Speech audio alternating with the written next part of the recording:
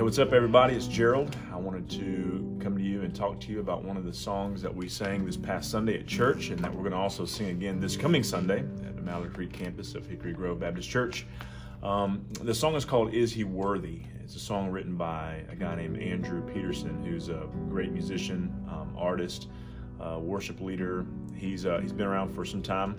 Uh, the lyrics are beautiful. Um, it's a call and response type song really, really strong song. And Shane and Shane actually came out with a, a really good band version of the song, and so we took that version and uh, and uh, played it for our people, led our people in it this uh, this past Sunday. Um, I wanted to read to you uh, just a, a, portion of the lyrics, which comes straight from Revelation chapter five, and I read this on Sunday as well, but just wanted to give it to you as well.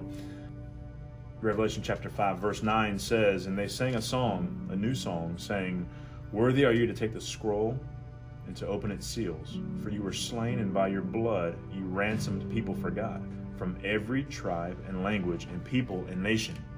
And you have made them a kingdom and priests to our God, and they shall reign on the earth. This call and response song is so incredible because I offer up a line, and the choir and the congregation sings back, We do. The very first part of the song, Do you feel the world is broken? We do feel the shadows deepen. We do. But then um, then we have this this hope in Christ as the light that comes into the world and pushes pushes the darkness back, pushes the darkness away. That's the hope that we have. And kind of the, the remedy, the solution for all these things that happen in our world today is Christ. He's our hope. He's everything that we need. So, as we sing this song again on Sunday, I want you to be reminded of the hope that we have in Christ and the light of the world that He is.